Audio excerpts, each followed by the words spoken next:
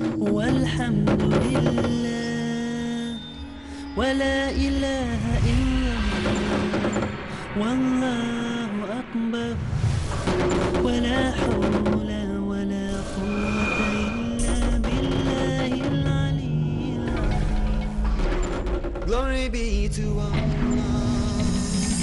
All praise to Allah. There is no God but Allah. Allah is great. Bismillah ar-Rahman ar-Rahim. Assalamu alaikum wa rahmatullahi wa barakatuh.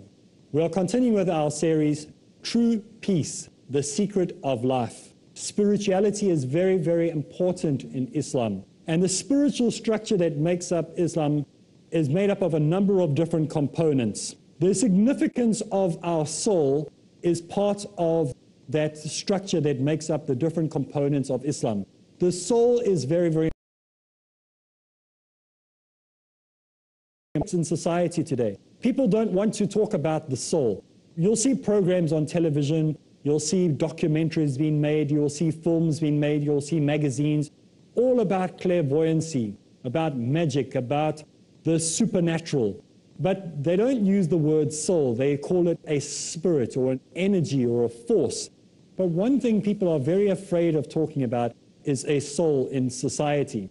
And so the significance of our soul is something that is very, very important for us to understand in the Islamic framework of spirituality.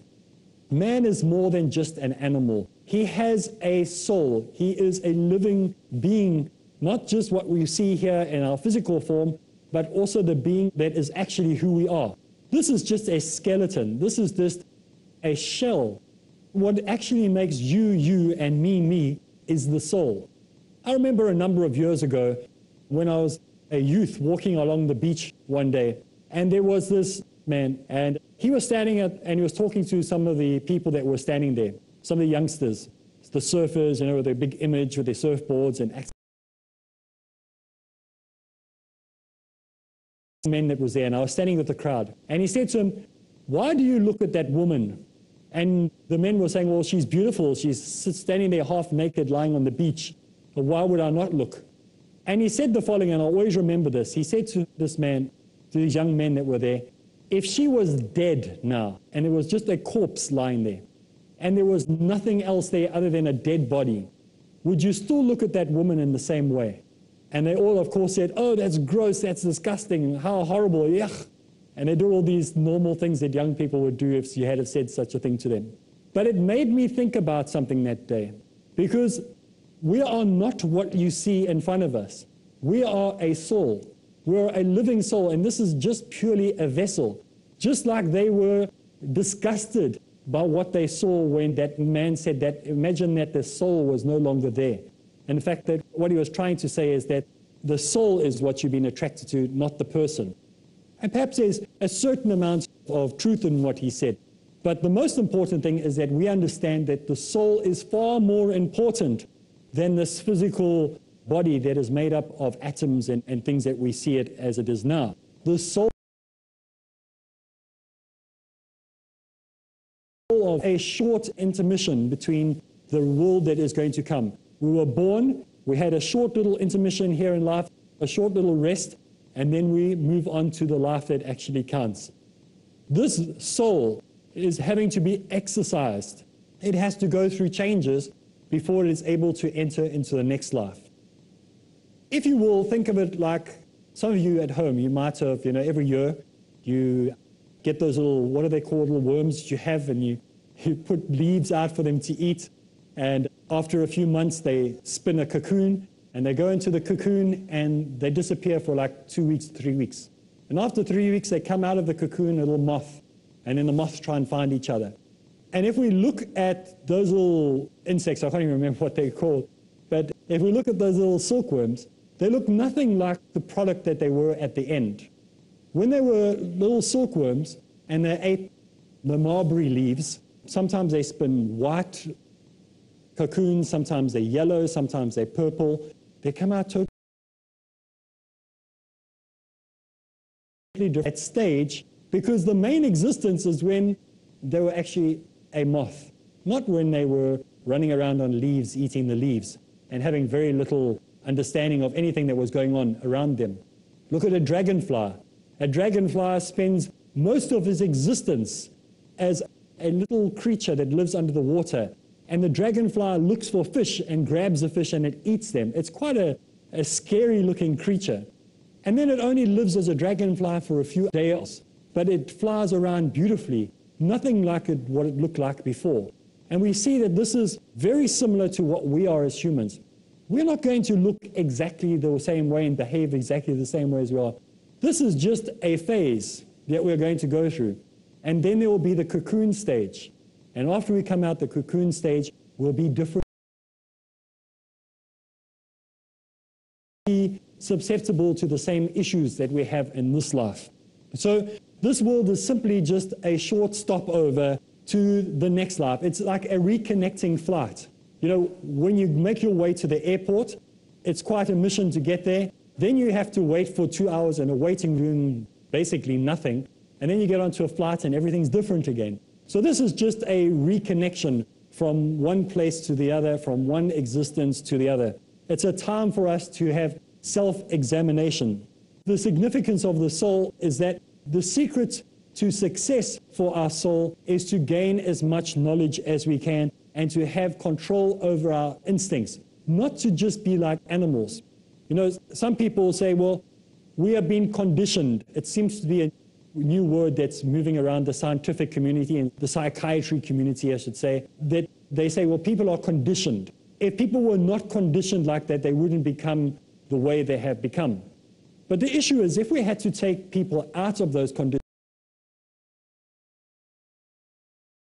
as if they are embedded in us. But we are not the same as animals.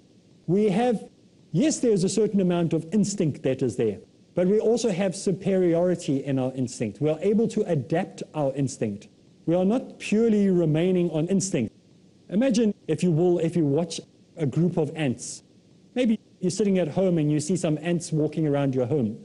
And you look at those ants and you say, how are they able to find the food? I mean, the food is over there, and they make this long trail, and they all seem to follow each other perfectly. And that's because they're leaving a scent behind them. The trail that they're walking, they leave a scent. And all the other ants that come along can pick up that scent. And so they're not following the pathway at all. They're just following a scent. If you want to do an experiment at home, take some perfume or take some itter or anything you want and put it on the trail where those insects were walking, and you'll see that it'll become chaotic. They won't know which direction to go anymore. So they're using purely instinct. When a human being who uses instinct gets to a certain point, he realizes this is why we know that we are more than just instinct. We're not more than just animalistic instinct. Our soul is connected to understanding that there is something greater we have a desire to search for more knowledge. We have a desire to understand that we need to gratify our souls, not only our physical bodies. There is a need for us to separate from this world every now and then. You'll hear people even saying, I need a break. I need to get away from it all. You know, you've heard people saying that? I need to get away from it all. I don't know where you're going to get away from it all because you're never going to get away from it all. But I understand what they're trying to say. They're acknowledging that they are made up of more than just a body, that they are also a living soul, a soul that needs to be treated, needs to be looked after, needs to be fed, needs to be nourished, like we would nourish and feed and look after our physical bodies. Now, those people who long just to live in this world and want to just look after themselves in this world, they don't worry about the world to come. And they think, well, I don't really care if I have a soul or not. They don't care about their creator. They don't care about the hereafter. They don't care about the soul. They believe that instead of the creator, there's a universe that just mysteriously fell into place perfectly. Instead of the end, how much they can earn, how many people they can influence, how many friends they can have, how many wives they can go through, how many boyfriends or girlfriends they can have, how many people they can step over to be successful in business instead of worrying about the hereafter. Instead of worrying about the soul, they're more interested in their physical appearances and their bodies. Some people, they will spend six, seven days a week, every single day of the week, worrying about what they look like physically, worrying about going to the gym, worrying about having the best clothing. They're more worried about their body than worrying about their soul. And so they go through life thinking that this is all there is. And the effects of serving your fleshly needs only leads you to more confusion. You no longer see the Creator as important. Well, it's time for us to take a break. And when we get back from the break, we will continue, inshallah. All praise to Allah. Assalamu alaikum wa rahmatullahi wa barakatuh, and welcome back. We're continuing in our series on how to find success in life and how to find true peace. Of understanding that there is a human soul, that the human body has a soul attached to it, that the body is just simply a nothing vessel. It really is nothing. It's the soul that actually is who we are. And we understood and had a look at how we can understand that we need to look past just this fleshly body. And the effects of serving just our fleshly needs are the fact that, like we said, that sometimes we replace the Creator with something else. And we say, well, the majority of people in this world say, well, we don't believe that there is such a thing as Allah, who is the architect and the creator of everything we see. We don't believe that there is a hereafter. We don't believe that any of us will have to answer to anything. We don't believe that there is a soul. We don't believe that we were created better than animals. We see ourselves exactly the same as animals. This is what we see in society today, many people saying. And so what they do is they say that they want to live in the moment. How many times have you heard people saying, listen, I don't want to know about all that. I want to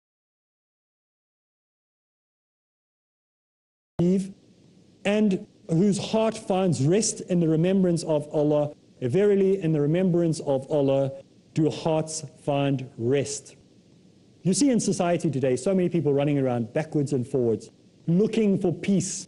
People pay hundreds of rands to go to spinning classes, hundreds of dollars to go to gym, hundreds of rupees to go to a guru to help them to relax, hundreds of pounds trying to find a way to get rid of the stresses in life.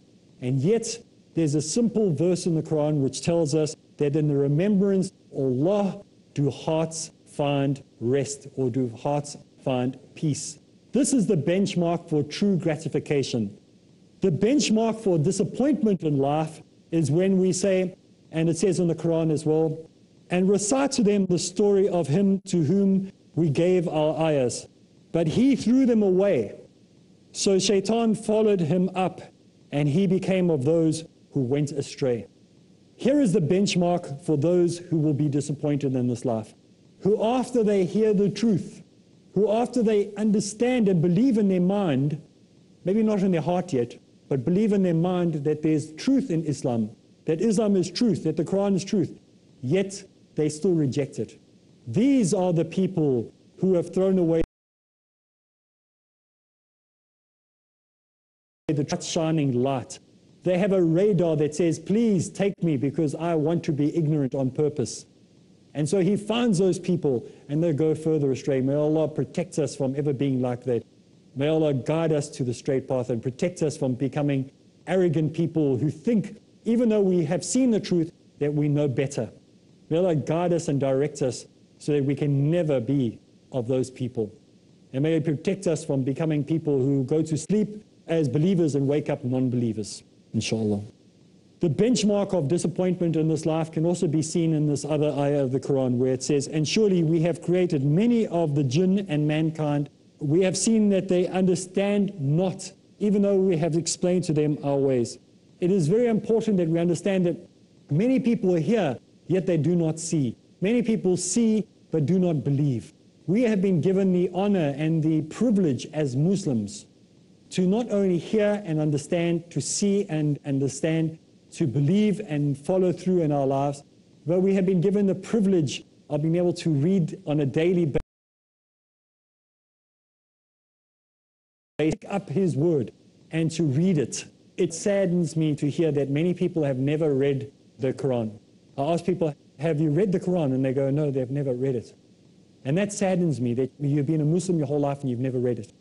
I encourage you to get yourself a copy of the Quran in your own language so that you get an understanding of what it's all about, and then to read it in Arabic or to learn Arabic as well. But you need to understand what it is all about. It is your book of life. I have in my pocket here a passport that tells me that I have access to this country that I'm in now. It's a little passport, and in it there will be stamps from different places. It will give me permission to enter into this country. You have the passport of being able to get knowledge, and you have to have that book stamped. Every time you gain more knowledge, it's stamped again. But if you choose not to want to learn and not to understand the Quran, you're going to have an empty passport and you're going to have to answer for that. Understand what it is in your own language. Please read this. It is very, very important for you to understand this. The significance of understanding why we have a soul and the significance of the fact that we need to have devotion in our lives is very, very important for our souls. First of all, if we understand that the significance of our devotion is the purpose of our creation, the reason that we worship God is the purpose of our creation. We were created to worship Allah. We're created to worship God. It is the central message of all the prophets. If we look at all the prophets from the very beginning through to the final messenger, may Allah be pleased with all of them, we see that their message was the same, and that was that we need to worship or be devoted to Allah. And it is the key invitation of the Quran. The Quran calls us to submission, to devotion, to worship the one true God. It is the main reason that we have been put on this planet for. We have been chosen of all the different creations to worship Allah of our own free will. The main condition for going into error in this world is when they refuse to feed their soul. They refuse to feed their spiritual being. This is the main reason, the main condition that we find people in this world going into error. It's not because they're going into error because they're reading too much of the Quran. It's not that they're going into error because they decide to grow a beard. No, they're going into error because they are not feeding their spiritual being, their soul. They purely do outward things. They observe just the way they appear. So they might have the right clothing on, but they've done absolutely nothing else. So they will walk around. You know, you've seen them in your community.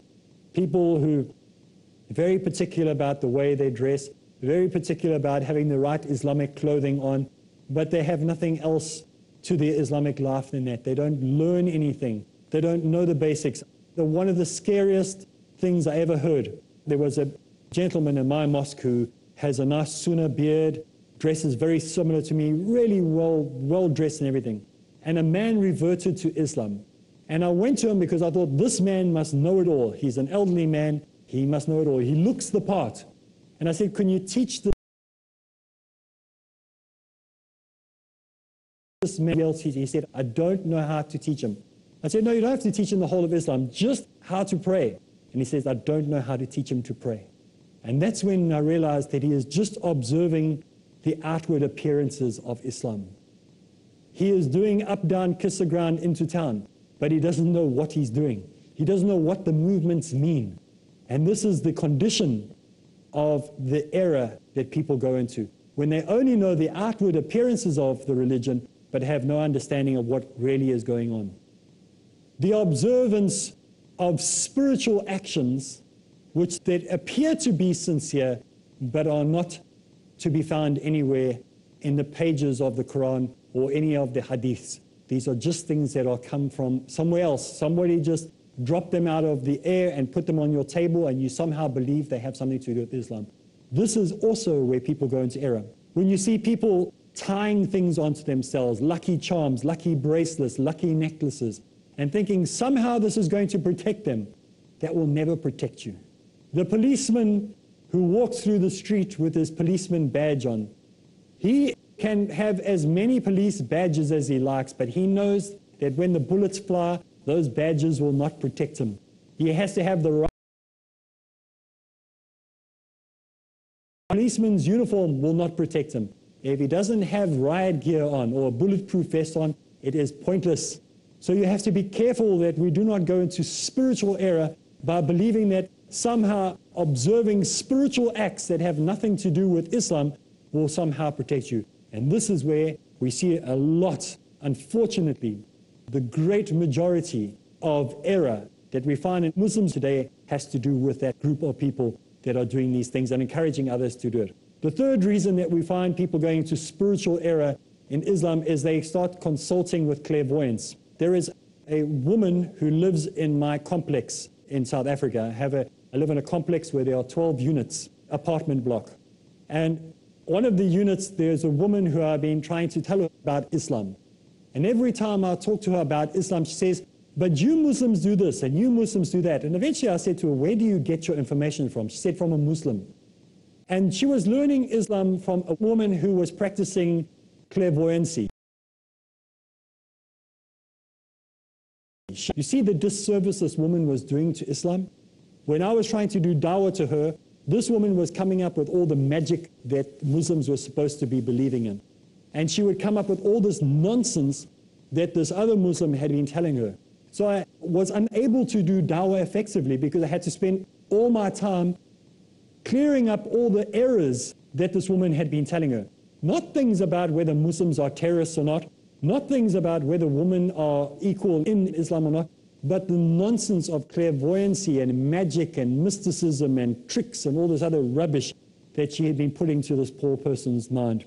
The other way that we can get into spiritual error is if we are in isolation. Islam is not a singularity religion. It is a ummah. We are to work together. You are not to go and perform your salah five times a day at home. You need to go to the mosque if you are able to get to the mosque. If you have your transport, you're well enough, and it's close enough, you need to go to the mosque.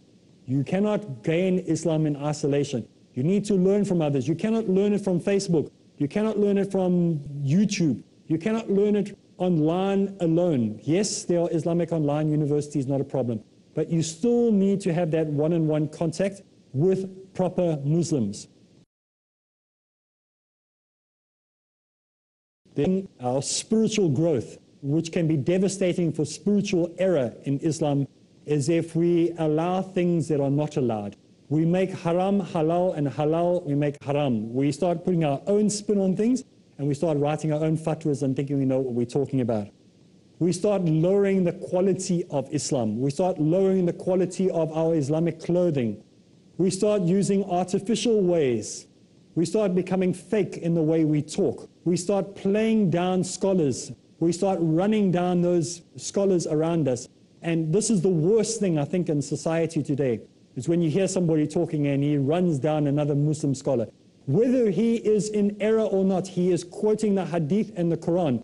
You cannot destroy his writings as long as he's quoting the hadith and Quran. You can say, I have this problem with this scholar. But you cannot just throw out everything he said because some of the things he says may be helping people. So your duty is not to publicly criticize. Unfortunately, we've seen this happening too often in society where people attack the person and start, you know, making a public show of the person. individual basis, speak to that person and say, brother, we don't agree with what you're doing here. Can you please correct that next time you do one of your public talks? But this is not what we see. Well, we've run out of time again for this episode, but inshallah, Tune in again next week. We will continue learning more about how we as Muslims can be successful and how we can find true peace. So from me, Areeb Islam, until next time, Assalamu alaikum rahmatullah barakatuh. Subhanallah, walhamdulillah, wa la ilaha illallah, wallahu akbar. ولا حول ولا قوة إلا بالله العلي العظيم Glory be to Allah, all praise to Allah.